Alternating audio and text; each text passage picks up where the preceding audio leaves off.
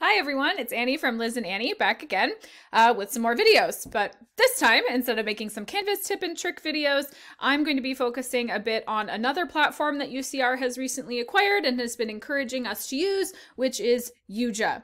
So Yuja, for those that aren't familiar, is a video storage platform that has a lot of other capabilities as well. But for purposes of this video, I'm just going to focus on how I've been using Yuja um, in my classes for the fall and how I will continue to do so in the winter. So the main thing I've been using it for is just for storing my videos and for auto captioning my videos um, after they're being recorded in my Zoom room. I can upload them to Yuja and have them auto captioned and then link directly from Yuja um, into my courses for students to access the videos later. So let me go ahead and show you just how I do that. Okay, so Hi, I'm in the upper corner now. So I'm entering into my Canvas space since that's the platform we're transitioning to. So I'm starting here, but I'll show you uh, Blackboard after this. So say I recorded a fabulous lecture for one of my classes and I have saved it to my computer or saved it to my Zoom cloud and downloaded it to my computer so that it won't get automatically deleted um, by accident, right? I have it in my personal computer, but I need to distribute it to my students. So um, to do that, I need to go into one of my courses that, um, that I have access to. So I'm gonna pick one of them that I've been teaching in the fall. So I enter into my course page and then you see on the side here uh, with our menu options, if you go about halfway down, you should have the option to access Yuja here. So you can go ahead and click on Yuja and it will open up the Yuja um, interface kind of window that you can work in. So just like a Google Drive storage um, uh, storage device, I guess, or storage space. You can organize your information into folders. So what I've done for this fall is I've created folders for each of my courses. So I'm in 211 right now. So if I enter into that, you can see that I've organized all of my videos by week so that I can enter into any of these and then go into any particular day from that week and find all of my lecture videos, right? So I have a nice organizational system going on here. Um, but if I want to upload a new video, um, I would create some sort of folder. So for this one, I'm going to call it um, Yuja Demos, right? I'll call it Yuja Demos. And then you see it appearing in this upper left corner here.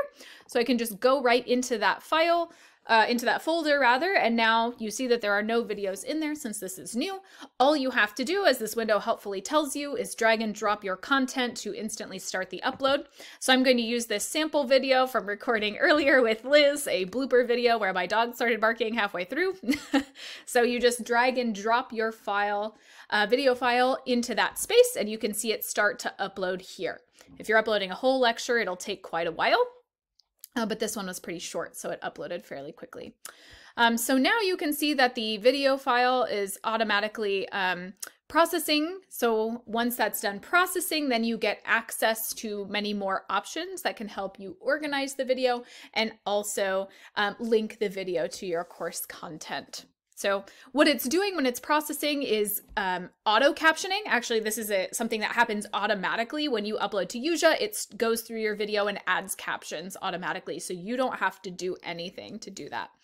Um, while this is going, I'll, I'll put in an aside about Zoom because Zoom does do auto captioning. That's true. Um, but if you are linking from somewhere outside of the Zoom cloud, which is where that auto captioning happens, um, so if you're linking somewhere outside of that Zoom cloud, which is um, best practice, that's what UCR has been encouraging us to do because the Zoom storage is um, limited and we will have our lecture videos deleted if we're storing them in the cloud. They get deleted after a certain amount of time.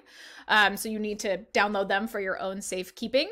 Once you do that though and upload to something like Google Drive, for example, the uh, captions and the video get uncoupled. So they are no longer auto captioning. So if you're linking to a Google Drive, uh, to your video in Google Drive or um, from the the downloaded file that you have from Zoom, it actually does not have the ability to be captioned. Um, so one way to work around that is instead of storing your downloaded videos in Google Drive, is to store them in Yuja because now it will auto caption for you as it's processing.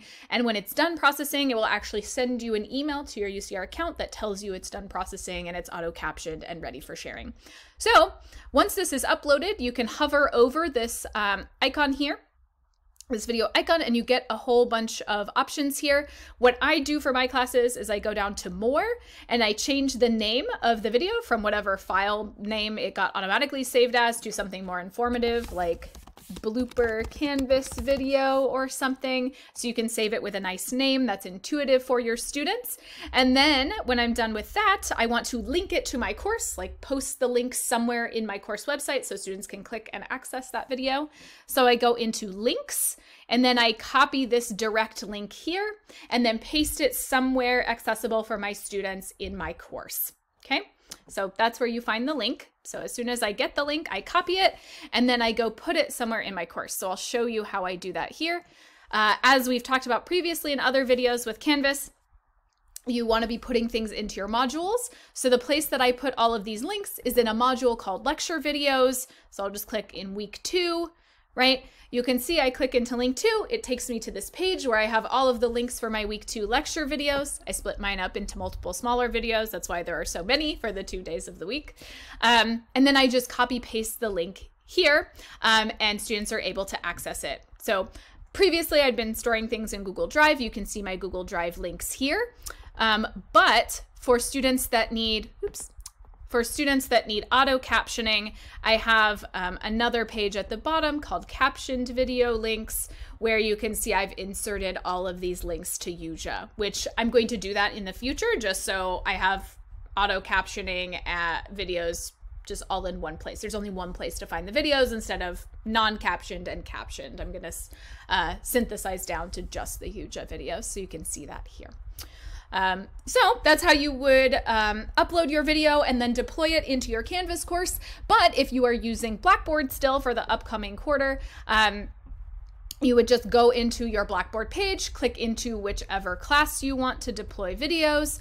You can see on the side here, much like in Canvas, if you go about halfway down, you'll find a link to Yuja, which will take you to that same uh, account, right? It's the same linked account. So you can see here that the, the folder I created in the Canvas uh, version of Yuja is right here, the Yuja demos, um, and that blooper canvas video is here. So it's accessible across uh, learning management system platforms. If you have maybe one class in Canvas and one in iLearn like I did, um, it doesn't matter. Yuja is connected across all of them.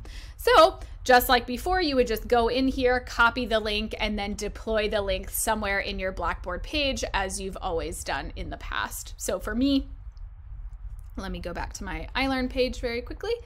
So for me, I have this in course materials and then I have lecture recordings. I have it, oops, I have it organized by week again. And then I have a folder for the captioned videos where you go into each day and then I have each of these um, parts of the lecture video linked. And if I hover over it, um, you can see at the very bottom of my screen in the lower uh, left-hand corner, you can see that the URL there is a ucr.yuja.com link. So I've linked to the Yuja videos here. Um, and I think that's about it. That's all I've been using Yuja for so far. Um, but it does allow you to link directly to your videos and then have um, some captioned versions of the video. So if I wanted, I could just hit I could just hit this CC down here, this closed captioning, and you see my captions appear automatically. And I didn't write the captions, Yuja did that for me. Okay, so that's about it for now. Um, I will see you in some other videos. All right, bye everybody.